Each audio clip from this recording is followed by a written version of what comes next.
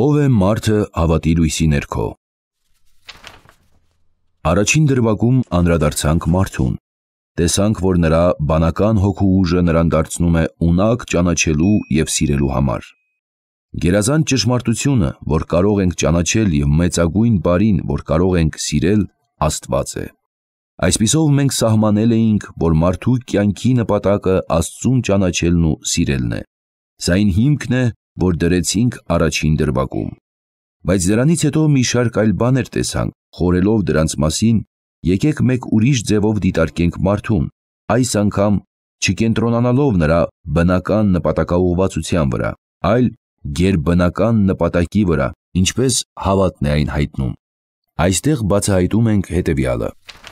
Աստված մարդուն ստեղծեց, որպեսզի վերջինս մասնակցի նրա աստվածային կյանքին։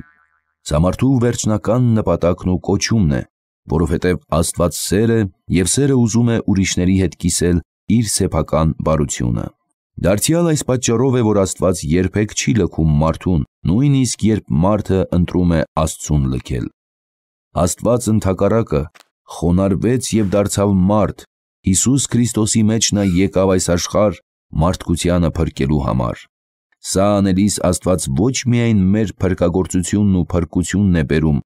այլև ցույց տալիս մարդկային անձի իրական արժանիքն ու արժանապատվությունը։ Չնայած որոշ մարդիկ կարող են կարծել, որ ինչ որ բանի արժանանում են միայն արտասովոր բան անելու դեպքում, կամ երբ նրանք ավելի լավ են կամ ավելի ուժեղ, կամ երբ ավելի հարուստ են, քան ուրիշները։ Սրանցից ոչ մեկը ճիշտ չէ, որովհետև մարդկային անձը իր ճշմարիտ արժանապատվությունը ստանում է այլ տեղից։ Մարդկային անձի արժանապատվությունը տեսնում ենք ոչ թե նրա ձեռքբերումների մեջ, այլ նրանում, ինչ ձեռք է բերվել իր համար, այն գնի մեջ, որ Հիսուսը վճարեց խաչի վրա յուրաքանչյուրի և ամեն մեկի համար։ Նա իր կյանքը տվեց բոլորի և մեզանից ամեն մեկի համար։ Ահա այդքան արժեքավոր ենք Աստծո համար։ Մարդկային արժանապատվության մասին այս ճշմարտությունը կփոխի մեր կյանքը, այլևս չենք կարող վերևից նայել որևէ մեկին, նույնիսկ ամենատհաճ մարդուն, ում ճանաչում ենք, որովհետև Աստված չմտածեց, որ այդ մարդն անկարևոր է։ Ոչ, նա այդ մարդուն այնքան արժեքավոր համարեց, որ իր կյանքը տվեց նրա համար։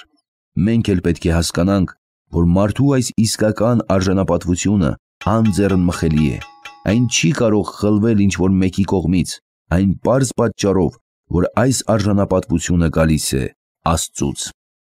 Եվ վերջապես, շատ ավելի նվազ պայքար կլինի երկրային ունեցվածքի համար, եթե իմանանք, որ չենք կարող սահմանել մեր ինքնարժեքը դրա միջոցով։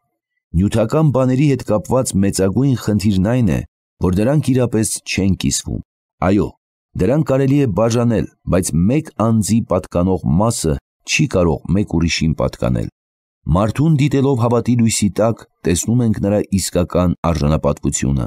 Աստծո սիրո մեջ հիմնված արժանապատվություն։